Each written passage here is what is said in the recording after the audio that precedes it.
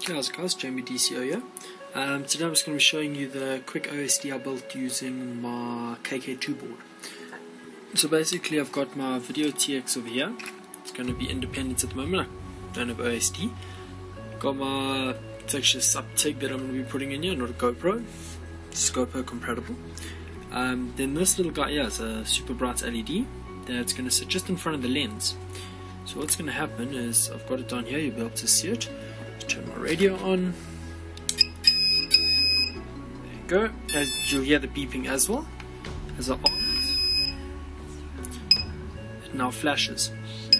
So when my battery alarm goes off, it's going to start flashing rapidly in front of my lens, um, and in theory I'll be able to see it.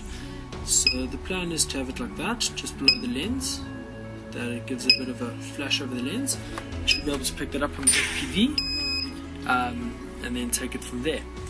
Okay, what I've done up here on the KK board is I pulled this wire that goes to my LED, pulled that back here, and then I've got on this side a set of pins like you'd find on a receiver or on your KK board. So there they are there, okay, and then it goes back to my um, to there where the buzzer normally plugs in on the board. You've got to just check polarities of your LEDs and of your buzzer to make sure it's all going to work together. But yeah, basically that's now going to be my basic battery OSD. So if I'm a bit far away to not hear the audible part of it, I'll be able to see it on my video screen.